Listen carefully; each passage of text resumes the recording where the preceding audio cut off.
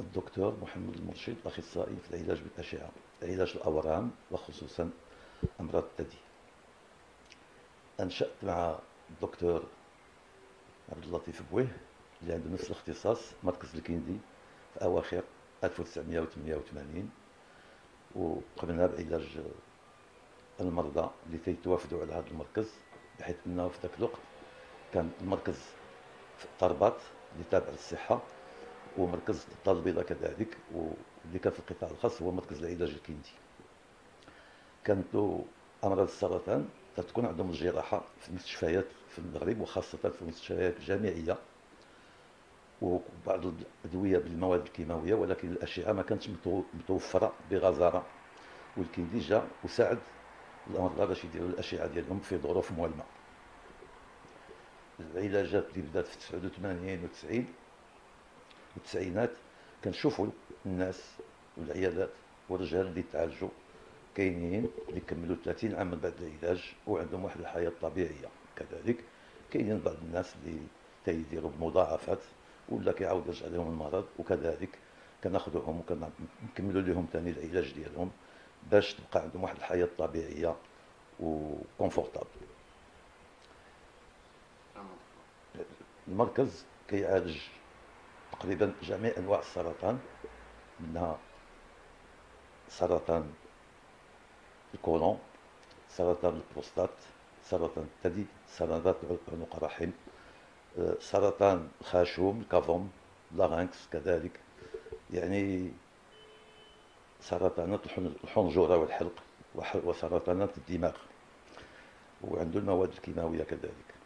باش يتعالجوا هاد الناس خص فرقة منسجمة ما بين الأطباء المتخصصين ما بين آه، الإنعاش الأطباء المتخصصين في الإنعاش وكذلك المهندسين في الأشعة والتقنيين من الممرضات ومن تقنيين الأشعة كذلك. وهذه الفرقه اليوم عندها تجربة كبيرة في هذا المركز وكيقوموا على وجه العمل ديالهم. يوميا. جميع الاحتياطات كتخاد واخا اليوم ما درتش الكمامه لأنه حنا بجوج في واحد المحل كبير ومهوي وباش تسمع الكلام مزيان مي خص الناس يحافظوا على هاد آه، المسائل والنصائح اللي كيسمعوا ويتبعوا نصائح الأطباء ونصائح المسؤولين في الصحة. الكمامة لازم وليجيال اليدين مهمة والتباعد كذلك الجسمي. ما تنقولوش التباعد الإنساني التباعد الجسمي نكونوا بعاد ونحترموا القوانين وما يكونش الاكتضاد الاكتضاد لا في الأسواق ولا في المستشفيات ولا في المتاجر. وغادي يكون غير خير إن شاء الله والناس يديروا الجلبة ديالهم لأنه تيتبين الآن بأنه الجلبة مهمة وكتحمي من هذا المرض اللي تنطلبوا الله تبارك وتعالى يبعد علينا هذه الجائحة هذه ونرجعوا للحياة الطبيعية إن شاء الله. من ناحية النصائح نسينا التغذية. التغذية مهمة جدا. الإنسان يأكل ماكله نقيه ومزيانة وفي اوقات مرتبة وكذلك الرياضة. على الأقل 30 دقيقة المشي يوميا أو 45 دقيقة ثلاث مرات في الأسبوع. في الصباح من الأفضل. كيكون الهواء نقي والإنسان إلا قد وعنده الوسائل باش يتمشى الخارج يتمشى ويدير الكمامة ديالو وياخذ الاحتياطات ما حدد الجائحة كاينة. وشكرا. الله يجعله شهر مبارك إن شاء الله ويدخل بالخير لبلادنا ولجميع البلدان الإسلامية وجميع بلدان العالم بني آدم بحال بحال في العالم بأسره. آه، شهر رمضان اللي عنده صحته يصوم. المرضى لا يكلف الله نفسا إلا وسعها. اللي مريض تنصح الناس اللي عندهم مواد الكيماوية أو الاشعه باش يشربوا الماء في البلاد ما يبقاوش بلا ماء لأنه هذه المواد مسمومة وخصهم ينقيو الجسم ديالهم منها. وإذا بقاو صايمين 14 و 15 ساعة الكيلي كتعيا والكبد كيعيا كذلك وكيمكن يؤدي بهم هذا الشيء المسائل لا تحمد عقباها. المهمه اللي كاينة في المراكز اليوم وهما آلة العلاج بالأشعة اللي تطورات واحد التطور منقطع النظير بحيث أن المضاعفات الأشعة نقصت باستعمال هذه التقنيات اللي موجودة اليوم في المغرب لا في المستشفيات العمومية ولا في المراكز الخصوصية.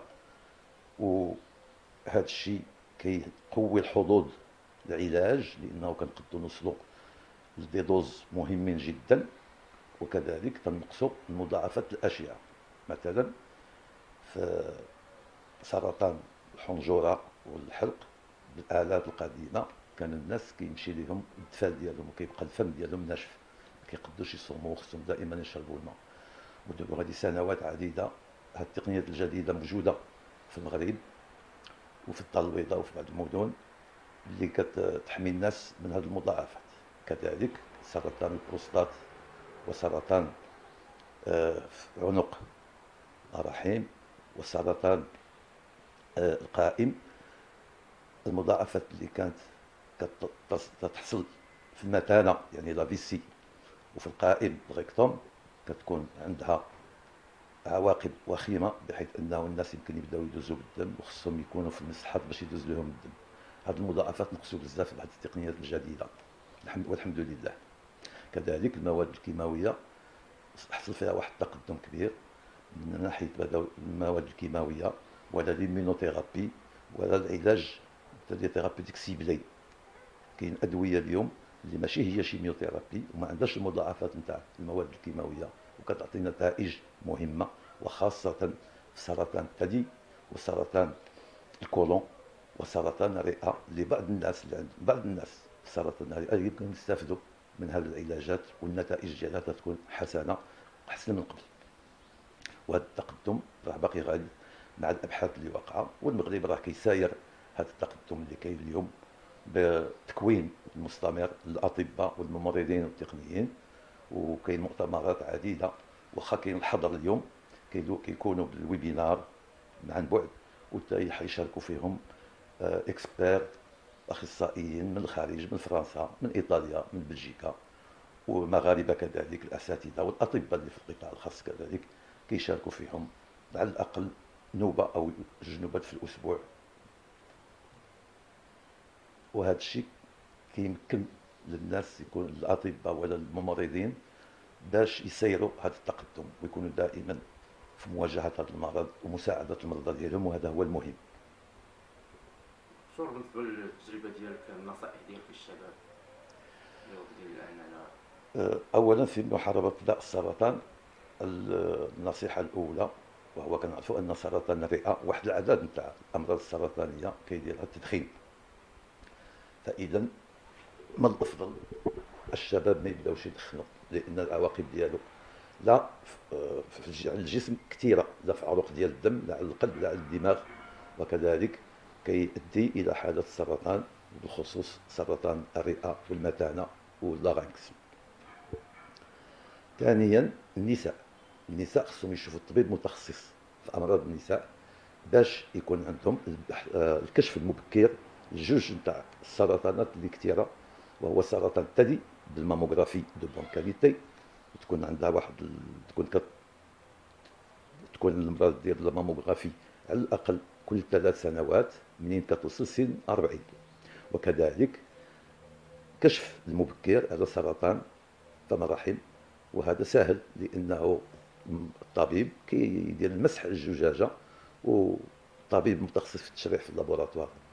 في المختبر تيقول واش كاين خلايا اللي قريبة تدير السرطان أو خلايا عادية وإذا كان لقى دوك الخلايا العلاج تيكون سهل بحيث إنه ما كيطلبش هاد التجهيزات وهاد المصاريف اللي كاينة إذا كان السرطان في المرحله مرحلة صفر. جراحة خفيفة كتكفي.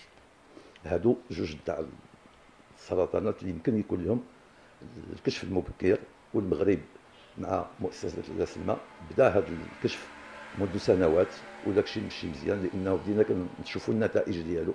ما بقيناش تنشوفوا الحالات المتقدمة كثيرة بحال من قبل. كنشوفوها ولكن قلت بكثير وكنشوفوا الحالات اللي كتجي في البداية. في البداية والعلاج ديالها تيكون ساهل والنجاح تاع العلاج مهم جدا. العلاج هذا الدكتور قرب من المواطنين بالنسبة للمدن البعده كاين دابا في المغرب جميع مدن المغرب مع مؤسسة الرسمه كاين مراكز الكشف المبكر في جميع المدن وباقي شي وحدين كيتبناو. كذلك مراكز العلاج اليوم راه كاين كاين في تقريبا المدن الكبرى وكاين في بني ملال. ويمكن اسفي والعيون راه غادي يبدا فيها المركز الجديد ديال العيون كذلك. المغرب جميع النواحي المغرب اليوم فيها المراكز وفيها الآلات وفيها الأخصائيين اللي يتكلفوا بهذا المرض.